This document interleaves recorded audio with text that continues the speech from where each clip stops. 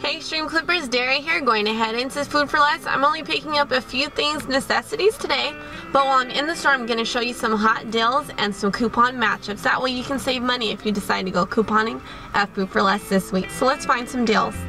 Oreo cookies, two for $5 or $2.50 each. I'm going to grab these for hubby.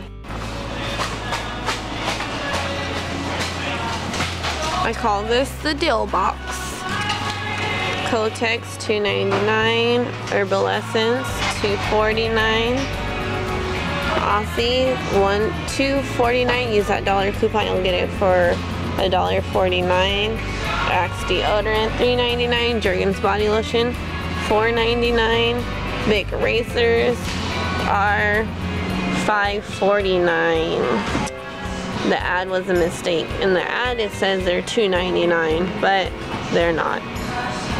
But if you want it, there's a $2 coupon, so you'll pay $2.99.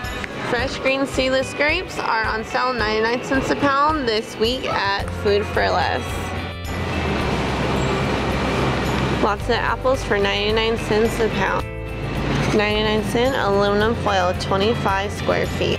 25 ounce Palmolive dish soap is on sale $1.99. Use that 50 cent coupon and you'll get it for $1.49.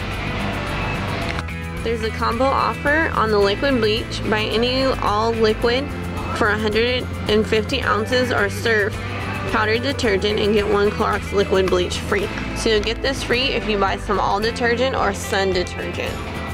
In all honesty, I'm not really finding any good deals that really stand out to me. There's some things on sale, but as far as stocko prices or great prices, not really seeing much of anything. Kind of disappointing.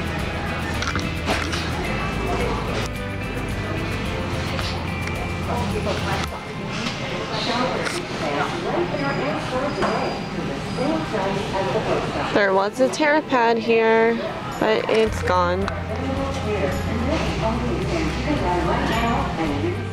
Alright Extreme Clippers, I found pretty much no good deals at Food 4 Less today. So this is my haul. Picked up four things.